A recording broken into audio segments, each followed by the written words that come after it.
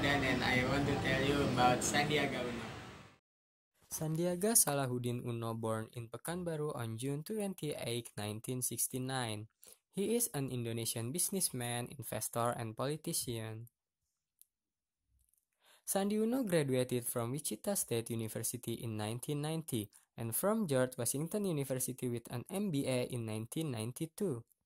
He began his career with Summa Bank in 1990. In 1994, he joined Ampi Group Holding Limited as an investment manager. The following year, he began working for NTI Resources Ltd in Canada and worked as an executive vice president. In 1997, he co-founded PT Recapital Advisors. The following year, he co-founded Saratoga Capital. He lists as 29 rich men in Indonesia according to Forbes magazine in 2009. He decided to leave the business world, entering politics in mid-2015. In the period from April to July 2015, he joined Gerindra Party as vice chairman of the board supervisor.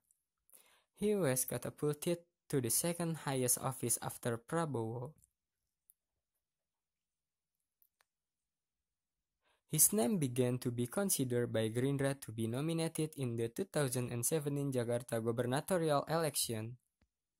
That's all about Sandiaga Uno. Thanks for your attention and see you.